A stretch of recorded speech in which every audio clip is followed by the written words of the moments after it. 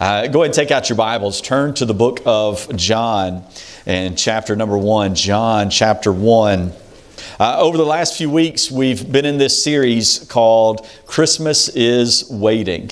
And, and, we've talked about a number of different things about waiting and how throughout life, and we have all kinds of places and times and things that we have to wait for. We wait for our food when we go out to eat, wait for them to, to bring it to us. Uh, we wait for loved ones to come and visit. We, we wait for our uh, favorite show to come on or our uh, new movie to arrive in the theater. We wait for that money to hit our bank account so then that we can spend that money, right? Uh, at Christmas time, though, Christmas is all about waiting, it seems like. From one Christmas to the next, we're just waiting for Christmas. And so we wait. We wait for the presents. We wait for the time with our family members. We wait for so many things. That trip that you've got planned. There's, there's a lot of waiting that goes on around Christmas. And of course, I've said it many times in this series and other series, uh, many times waiting is not fun. We don't enjoy waiting. We get very impatient when it comes to waiting, oftentimes. But so many times we have to wait.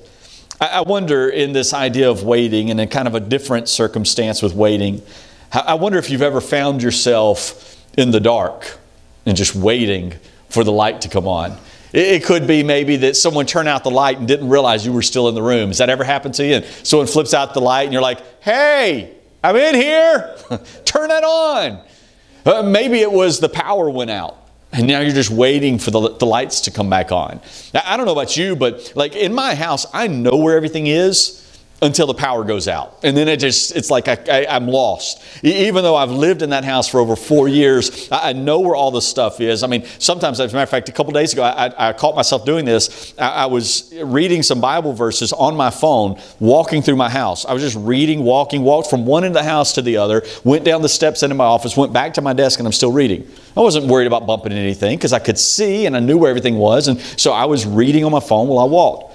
But now if the power went out, that, that would have been awful. You know, because it's when the power goes out, when the lights go out, that's when your shins find the coffee table that's been in the same spot for years, but you forgot. That's when your little pinky toe finds the end of the bed. Yeah, you know, I, it's when the lights go out.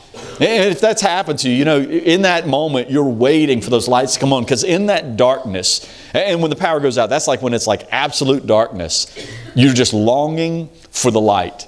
You're longing for the light. In our house, it's, it's really when the lights go out, when the power has gone out, it's made me recognize how much light we normally have in our house. When the power goes out, it's like, wow, I, I you know, one, I'm lost. I don't know where anything is, but it, it makes me recognize that whenever the power is on, there, there's a there's a night light in the hall bathroom. Uh, there's the light over the sink in the kitchen that's always on. There's my alarm clock that's got a pretty big face on it, and so there's the numbers on that. So there's all of these sources of light. But when we're pushed into that darkness, when we're cast into that darkness, we recognize the need for light. We miss the light. This morning, I, want us to think about this idea uh, about needing light in darkness, uh, trying to find a light. As we look at John chapter 1 this morning, this isn't going to be a traditional Christmas passage. But I think you'll see uh, that this is very much attached to Christmas because when Jesus came, he was a light shining in a dark world. And as we, we rejoice about Christmas and we celebrate Christmas, we look back about, at Christmas, we recognize that light that came into a dark world, that light that, that shined so that we could see the way to salvation. This morning, the title of the message is Light in the Darkness. Light in the Darkness. Even though Jesus brought the light that we all need, there are still many people in our world that walk in darkness. It's like somebody putting a flashlight into your hand in the middle of the dark, and you have the source of light, you have access to the light, and you just don't turn it on. You instead live in that darkness. And all around us, there are people that still live in darkness, separate from Jesus Christ, but the light is available to them. And I want us to see that this morning. We'll begin in John chapter number 1, verses 1 through 14. Again, this isn't a, a Christmas passage per se. John didn't start with the birth of Jesus. When, well, John actually went a good bit further back. And he talked about in the beginning. And then he jumped ahead to Jesus was walking on this earth as a man. And so let's read these verses here. John chapter 1, verses 1 through 14 says this In the beginning was the Word. Now, that, that, that name, you'll see word is capitalized. It's a name of someone. And I'll go ahead and tell you just so that you understand as we read this. The word, as mentioned here, that name is Jesus. And so now consider that every time we see the word in this passage, it's talking about Jesus. In the beginning was the Word, and the Word was with God, and the Word was God. The same was in the beginning with God. All things were made by Him, and without Him was not anything made that was made. In Him was life, and the life was the light of men. And the light shineth in darkness, and the darkness comprehended it not. There was a man sent from God whose name was John. The same came for a witness to bear witness of the light that all men through him might believe. Now, pause just a moment here because we're in the book of John and it talks about a man named John. These are two different Johns. The John who wrote the Gospel of John is, is John the disciple. The John that is mentioned there is John the Baptist. So there's two different Johns just to try to provide some clarity there of who we're talking about. When he says there was a man sent from God whose name was John, we know him as John the Baptist. The same came for a witness to bear witness of the light that all men, and again, you see light now is capitalized, just like word, because again, it's talking about Jesus. Jesus, the word. Jesus, the light. That all men through him might believe. He was not that light, talking about John the Baptist, but was sent to bear witness of that light, Jesus. That was the true light, which lighteth every man that cometh into the world. He was in the world, and the world made, was made by him, and the world knew him not. He came into his own, and his own received him not. But as many as received him, to them gave he power to become the sons of God, even to them that believe on his name, which were born not of blood, nor of the will of the flesh, nor of the will of man, but of God. And the Word. Now here's the Christmas story right here.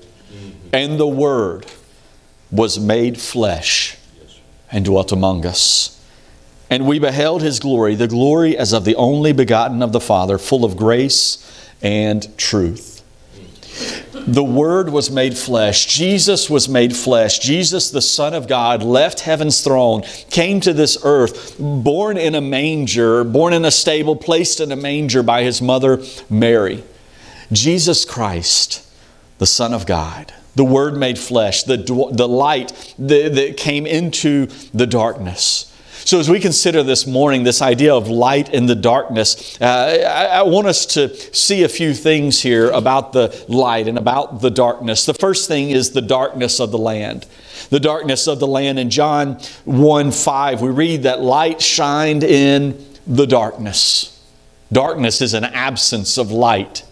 It's where you go, there's no light. If the, lights are turned out, you're in the dark. If the power goes out, you're in the dark. If it's nighttime and it's cloudy and you can't see the moon, you can't see the stars, and you're out here in the country and there's no city lights anywhere, it's dark. It's the absence of light. And so, this picture of darkness, this picture of the absence of light, is found throughout Scripture.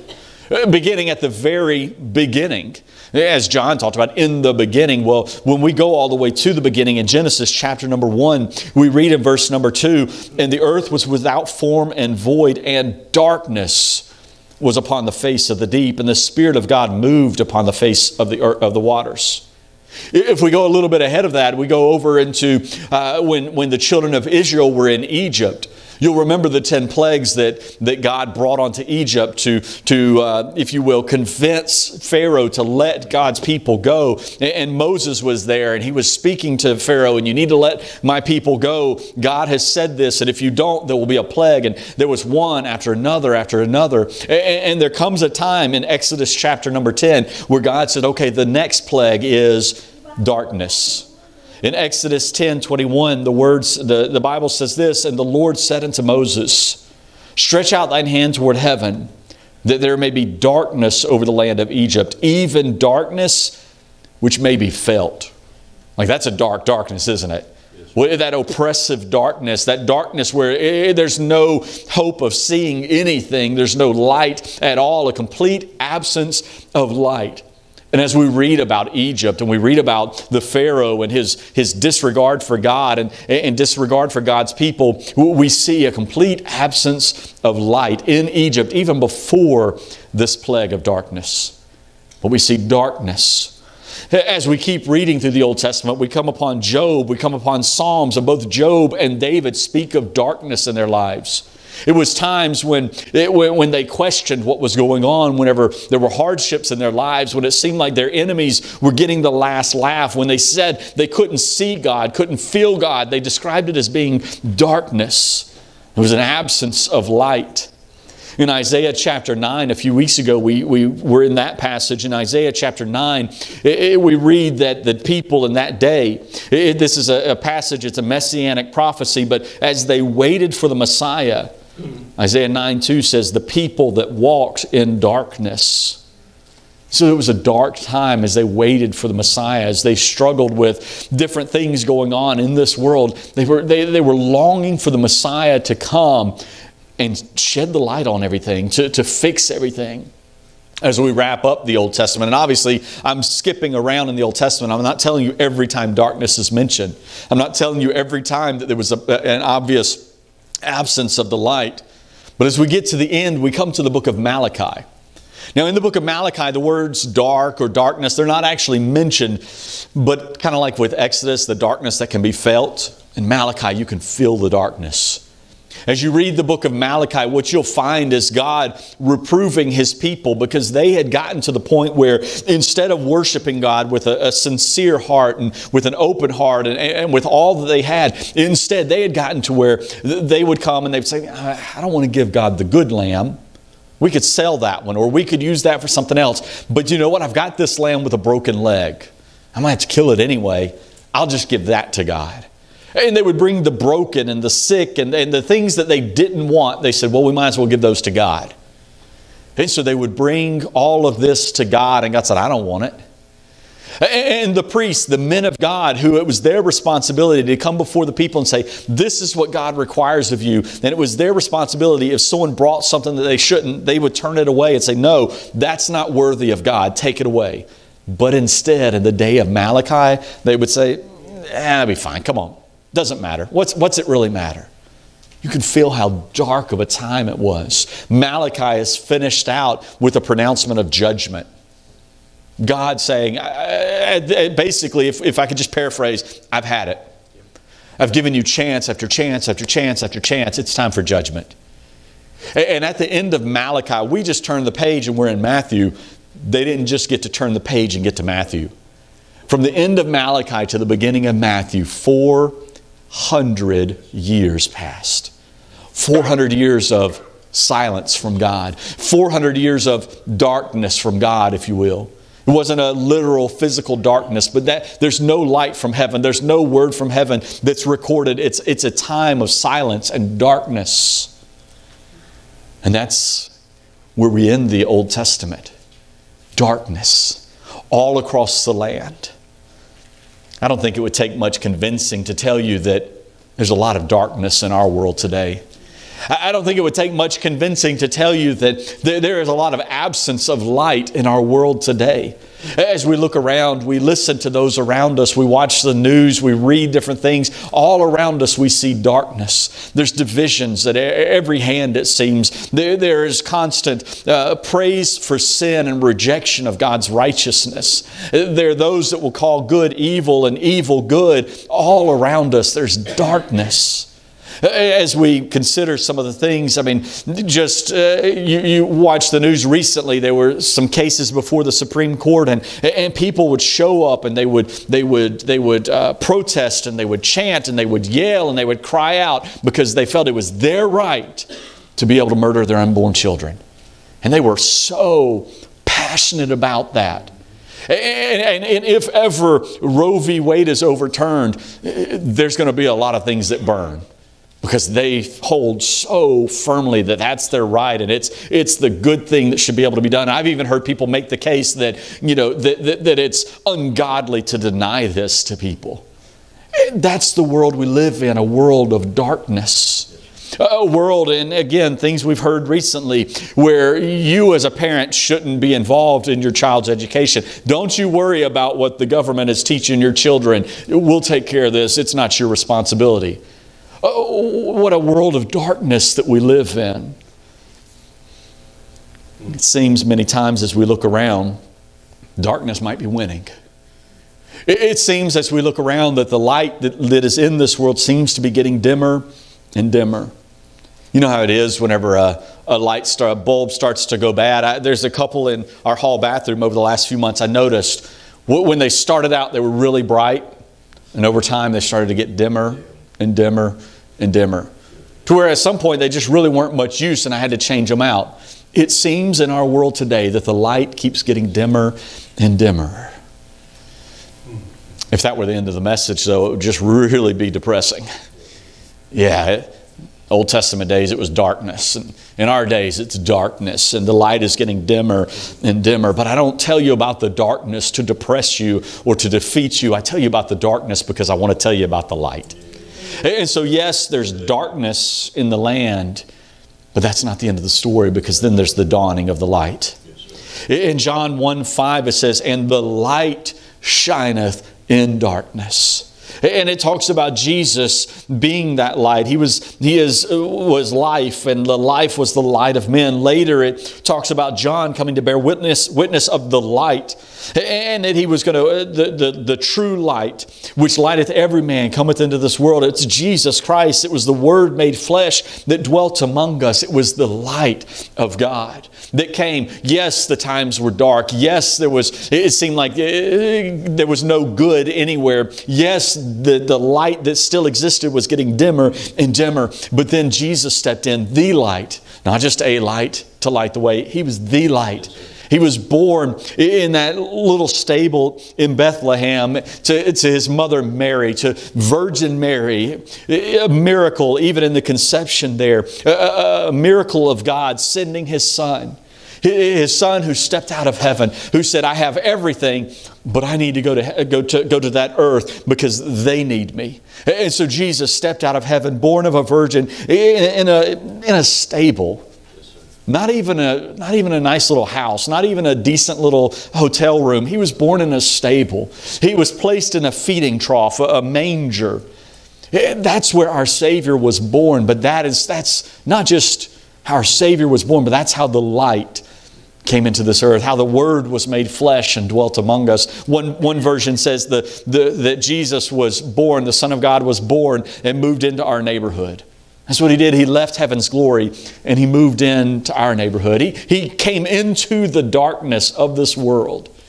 As we considered those passages about darkness, in Genesis chapter 1, we talked about the darkness, that absence of light. But then in Genesis 1, we see God say, Let there be light and there was light. Consider this God said, Let there be light before there was ever sun, moon, or stars. You see, there was no need for those to be the light because God is the light. And so God said, Let there be light, and He brought light forth. Uh, whenever we look at uh, back in Egypt and the, the plague of darkness and how that God allowed darkness to overtake all of the land, that darkness that could be felt when He withdrew all the light. When you read that passage, there was still some light. It wasn't there with the Egyptians and Pharaoh's household. No, if you went over to God's people, there was still light because God was still there with them. Eh, when you read Job's writings, when you read David's writings in the book of Psalms, and they're saying, you know, why are you so far from me? And why is everything so dark? And why are my enemies getting the victory? And why does it seem I'm struggling so much? In both Job and David's situations, God spoke into him and said, eh, eh, You may feel, and I'm going to paraphrase here, you may feel like it's so dark, but it's because you've lost your focus on me. Look back to me, and you know what you'll see? You'll see the light. Yes, the world is dark. Yes, times are dark, but focus on me.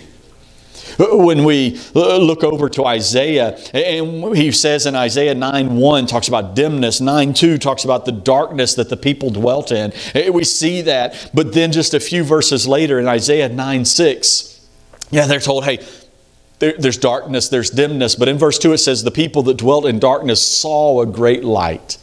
And in verse 6 it says, Unto, which, unto us a child is born.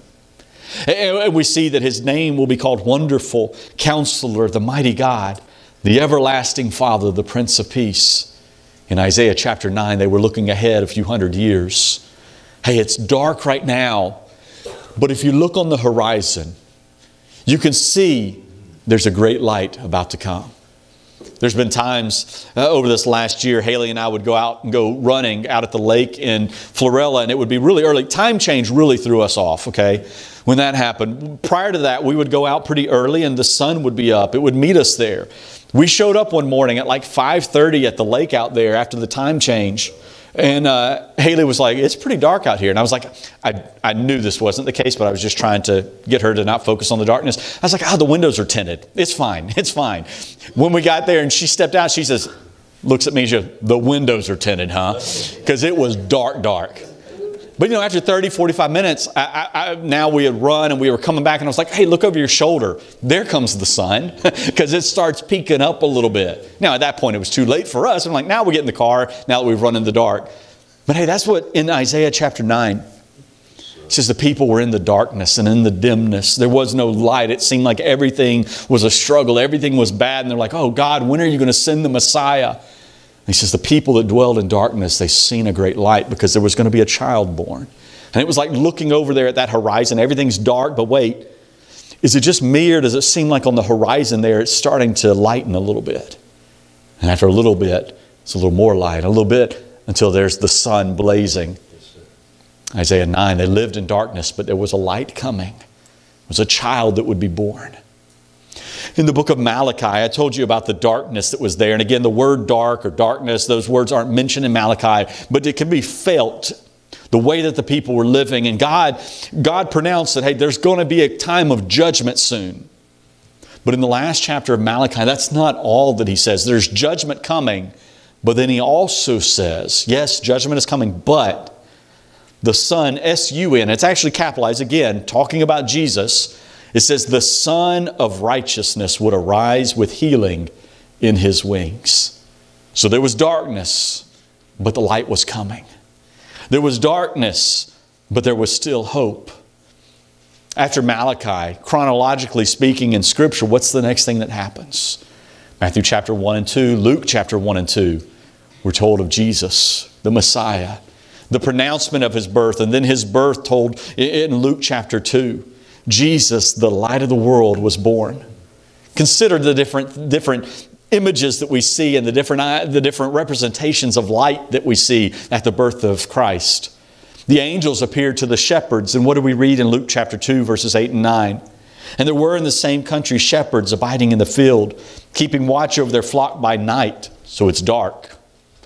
And lo, the angel of the Lord came upon them, and the glory of the Lord shone round about them, and they were sore afraid. It was at night, it was dark. And that was representative of what all people were going through, what all mankind had been through. It was a time of darkness. But at the birth of the Messiah, the angels came forth. And it wasn't the glory of the angels that shone forth. It says it was the glory of the Lord that shone forth. In that dark night, I, talked about this a little bit Wednesday night. In that dark night, everything's darkness. There's no city lights, there's no electricity in that day. So there's nothing taking away from the darkness. They're out there in the dark, and suddenly the glory of the Lord is shining all around them. I think it was probably like the middle of the day in that moment. Like suddenly the light was shining so brightly. We, we, we consider that source of light there when the angel appeared to the shepherds. Over in Matthew chapter 2, we see the star that led the wise men to the child Jesus. Matthew 2 1 and 2. Now, when Jesus was born in Bethlehem of Judea in the days of Herod the king, behold, there came wise men from the east to Jerusalem saying, Where is he that is born King of the Jews? For we have seen his star in the east and are come to worship him. Much has been said about that star of Bethlehem. Much has been said about the star that led them. It wasn't you just happen to glance up and see a random star. Like this had to be a pretty big deal for these guys to notice this particular star and, and, and feel that if we just follow that star, it'll take us where we need to get to, where we need to get to. And so they followed this star, this source of light. And of course, we come back to John chapter 1. Jesus, in him was life, and the life was the light of men. And the light shined in the darkness, and the darkness comprehended it not. Later in the book of John, Jesus said this, John 8 12. Then Jesus spake again unto them, saying, I am the light of the world. He that followeth me shall not walk in darkness, but shall have the light of life. Yes, darkness seems pervasive. Darkness seems to be all around us, but the light still shines the light of Jesus Christ. Jesus is not only the light here on the earth as we see it now, but there'll come a day in eternity where He is the everlasting light. At the book of in, at the end of the book of Revelation. Again, John is writing this also. Revelation 21 23, we read this And the city had no need of the sun, neither of the moon to shine on it. For the glory of God did lighten it, and the Lamb is the light thereof. Amen. The light of God. Jesus Christ, the Lamb of God, He is the light that shines in the darkest of nights. And so when He came to this earth, He came bringing light into darkness. We look around, we see our world is dark. There's so much darkness and depravity around us. We see that uh, so much sinfulness, and I didn't even mention the church. I mean, so much of the church today looks just like the world and acts just like the world. It is so hard to see the light sometimes when God's own representatives look so much like the darkness. But listen, there is light, there is hope, there is life because Jesus Christ was born in that stable over 2,000 years ago. He was born not just so that we can have a Christmas play and have, uh, you know, cute little props of a little manger and, and think about these things. No, he was born not to stay a baby that we worship in that manger. He was born because he was going to grow and he was going to live his life, a perfect, sinless life. And about the age of 33, he was going to suffer and he was going to die on a cruel Roman cross. Uh, we, we have crosses like this, and it looks so neat and it's pretty. It's a you know a couple like one by four or something up there, and it, it looks nice and neat because it was run through a mill and it was you know flattened out and everything looks good about it. The cross that Jesus died on didn't look that neat. It wasn't that pretty. It was rough. And no doubt there was probably blood on the cross because I doubt they gave each person a new cross. So, probably someone else's blood was on that cross already that Jesus hung from. Pieces of skin, and I, our Savior suffered on that cross. That baby born and placed in the manger hung on the cross because he was bringing light into a dark world. He was bringing life and he was bringing hope. And we look around our world, in the darkness, sometimes it scares us. Maybe, maybe growing up, or maybe still, you're scared of the dark. Lights go out and you're like, that's it. I, I need a light. I need something. Help me. I'm scared. Maybe that happens. Uh, many people struggle with a fear of the dark. But listen, when we look around our world and we see the darkness, we don't have to be scared. We don't have to be confused because things seem darker and darker. Uh, at Christmas time, we celebrate that the, that the light of life, the light of the world, Jesus Christ, came into this dark world shining brightly. But Jesus didn't just come just to shine a light, just to bring a little bit of light into a dark world. There's the darkness of the land, there's the dawning of the light, but let us see why did Jesus come? And that's finally the deliverance of the lost. You see, the world is dark. We needed a light, so Jesus came. But why? It wasn't just to light the world and look, it's, it's an okay place now because it's lighter. No, He came to deliver the lost. He didn't come just to shine a light into our lives so that we could see how bad we were, but that's part of it. He didn't just come to shine a light so we could see how bad other people are, but that's part of it. And I say that not to mean like, whoa, they're really bad. Have you? No, not so that we can be judgmental in that way, but you know what? They are just like I was. They are lost and separated from God. They are living a life of darkness. They need the Savior, just like I did. And so we see that he shined the light, so yes, we could see others' needs for the light. But it wasn't just so that we could see how bad we were, others could see how bad they were. Jesus came to shine light in the darkness so that upon recognizing how hopeless our situation was, how messed up we are, that we would see there was only one way.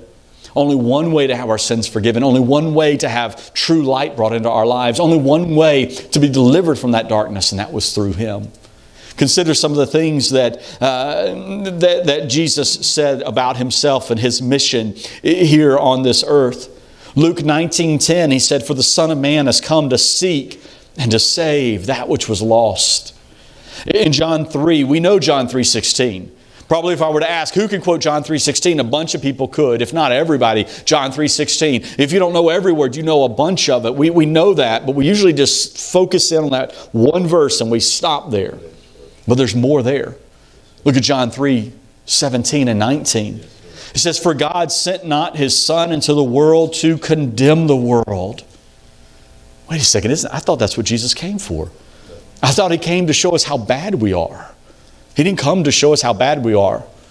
It says he came not to condemn the world, but that the world through him might be saved. He didn't come to condemn us. Look what the next verse says. He that believeth on him is not condemned, but he that believeth not is condemned already, because he hath not believed in the name of the only begotten Son of God. And this is the condemnation that light is come into the world, and men love darkness rather than light, because their deeds were evil. See, Jesus didn't come to say, You're bad, you're bad, you're bad, you're bad, you're all condemned. He didn't have to do that. We just are apart from Him, we just are sinners. We just are bad. We just are condemned. But He didn't come to condemn us. He came to provide a way to not be condemned. He came to shine a light so that we could see the way to be free from our sins. He, he came to give us the way to eternal life. Matthew 9, 12 through 13, it says, But when Jesus heard that, He said unto them, They that behold need not a physician, but they that are sick. Go ye and learn what that meaneth. I will have mercy and not sacrifice, for I am not come to call the righteous, but sinners to repentance. Come back to John chapter 1. We look at the last few verses of our text this morning. John 1, verses 12 through 14. But as many as received him, as many as receive Jesus Christ, as many as recognize that He is the light, He is the life, He is the way, the truth, and the life. No man can come to the Father but by Him. As, though, as many of those who received Him, to them gave He power to become the sons of God, even to them that believe on His name, which were born not of blood, nor of the will of the flesh, nor the will of man, but of God. And the Word was made flesh and dwelt among us, and we beheld His glory the glory as of the only begotten of the Father, full of grace and truth. And deliverance from sin that's talked about. That power to become the sons of, and daughters of God, it wasn't just for those alive in John chapter 1. That's for all of us. That free gift of salvation is for all of us. That light that has come into the darkness is for all of us. That life that came from Jesus is for all of us. We must simply receive it. You see, Jesus died to pay for the penalty of our sins. He died in our place, a substitutionary sacrifice in our place to take our sins on Him. The worst thing you've ever done, Jesus took it. But you know what? Even that thing that you think's not so bad, Jesus took that too. He came for all sins of all mankind for all of time. And He died on the cross to shine the light to say, I'll take this you receive me, you place your faith in me, and I'll give you life eternal. And so we see deliverance of the lost. The world is dark. It can seem like a scary place oftentimes. It can get us down as we see all that's going on, but the light of Christ can overcome the darkness. If you find yourself in a dark room and you don't know where you're at, what do you need? You, even if you don't have like a flashlight, a spotlight. You see this in movies sometimes, like anyone have a match. And you just strike a match. And even, a match is only going to last a few seconds. But if you strike a match, at least that is enough to kind of get you where you're going, kind of give you some direction. Listen, Jesus didn't come to just provide this momentary light, just this little bit of light to show us the way. He came and he shined like this massive spotlight. I remember growing up in Mobile, we would be going out to eat or something. I would see in the, light, in, in the sky this, this light going back and forth like this. And inevitably, what it was, once we got near Airport Boulevard down there, kind of the main strip there in Mobile, one of the car lots, big car lot, they've got this massive spotlight out front doing like this to get people's attention. Got my attention. It was this massive light shining, and it didn't matter how dark it was, that light would break that darkness, and you could see that. Hey, hey, comic book fans, Batman. Someone wants to signal Batman. What do they use? The big light, the bat signal, right? The light that would shine in the darkness. Listen, that's just a fun little story. But I'm telling you, there's a light greater than any of those. Jesus Christ, the light, the life, the way, the truth, the Word who was made flesh and dwelt among us. He came and his light was not momentary. His light was not just one that could be seen in one spot for one time. The light of the Lord is available to all. And he's shining, saying, Hey, all who are weary, you're sick of your sin, you're bogged down in that, you can't find a way out, that's because you haven't looked to me. I'm the only way. And he shines the light on himself, saying, I am the way, the truth, and the life. No man comes unto the Father but by me. And so it doesn't matter how dark the world gets, the light of God cannot be dimmed. We look around and it may seem like it's getting dimmer and dimmer because God's people are, are wandering off from Him. The world is worse and worse, and it seems like the light isn't there anymore. But listen, the light of Jesus Christ is shining as bright as ever. We just have to look at Him, we just have to turn to Him. If you've never placed your faith in Jesus Christ as your Lord and Savior, I'm here to tell you, you're the reason He came. You're the reason He left glory, left heaven, left that perfection and all that, that is involved in heaven. He left that and He came to this earth, this dark world. This place where uh, at that point there had been 400 years of silence and darkness from God. 400 years and Jesus stepped out of glory for you. He came to this earth, as I've already said, to live that perfect sinless life. He came to this earth to die on a cross to take the weight of your sins, the punishment of your sins on himself. Why would he do that? And now we get back to John 3:16. For God so loved. Who? The world. That's all of us. For God so loved the world that he gave his only begotten Son, that whosoever believeth in him should not perish but have everlasting life. Jesus willingly left heaven's throne, willingly left glory to come to this earth, to live as a man, to suffer as a man, to die on a cruel Roman cross to pay for your sins. If you've never received him as your Savior, I beg you, call out to him today. Let that light into your life. He will save you from your sins and give you a home in heaven. You don't have to do anything. You don't have to clean up yourself. Well, well, first let me get better. Well, first let me do more. Well, first let me give some money to the church. Hey, give money to the church. I'm fine with that, but that's not going to get you any closer to heaven. Uh, being a better person, turning over a new leaf, doing something for the poor, serving in a soup kitchen, none of that will get you to heaven.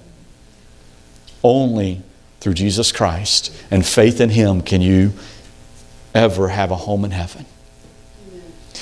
For God's people here today, those who have placed their faith in, in Jesus, He is the light of the world.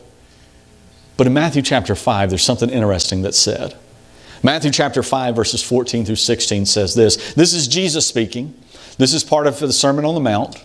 So, like the most famous sermon ever that Jesus ever preached or anybody else. In Matthew chapter 5, towards the beginning of that sermon, he said these words Ye are the light of the world. A city that is set on a hill cannot be hid. Neither do men light a candle and put it under a bushel, but on a candlestick, and it giveth light unto all that are in the house. Let your light so shine that they may see your good works. Let your light so shine before men that they may see your good works and glorify your Father which is in heaven. Jesus Christ, the light of the world, looked at his followers and said, You are the light of the world. Let your light go and shine. Is the world dark? Yeah. But how many of us are shining a light into that darkness? How many of us are reflecting the light of Jesus Christ? It's kind of like the moon. The moon reflects the light of the sun. Believers ought to reflect the light of the sun also, S O N. We ought to be a reflection of Jesus Christ. We are to be the light of this world. We are to show forth the glory and the praise of our, our, our wonderful Savior, Jesus Christ. Are we doing our part to bring light into this world? He's done everything necessary, and then He calls on us to be the light. Yes, the world is dark. But Jesus is the light that shines eh, through that darkness, splits that darkness wide open, shines into that, showing men, women, boys, and girls their need of a Savior and saying, I am that Savior that you need. Let's pray. Lord, thank you for your word today. Thank you that Jesus Christ came. Thank you that He is the light of the world. And He calls each of us to reflect that light, to be a light to those that are lost in this world that need to hear of a Savior. Lord, I pray that each one of your children today would, would, would be right with you and be a light in this dark world. Lord, that we would show forth your praise, show forth your light, tell others about what you've done in our lives. Lord, if there's one here that's never trusted Christ as their Savior, may they receive Him today. May something that's been said or something they read today be, be a light into their darkness and, and will expose that they are in need of a Savior. Lord, I pray that you would have your will and way in all that's said and done the remainder of this service. In Jesus' name, amen.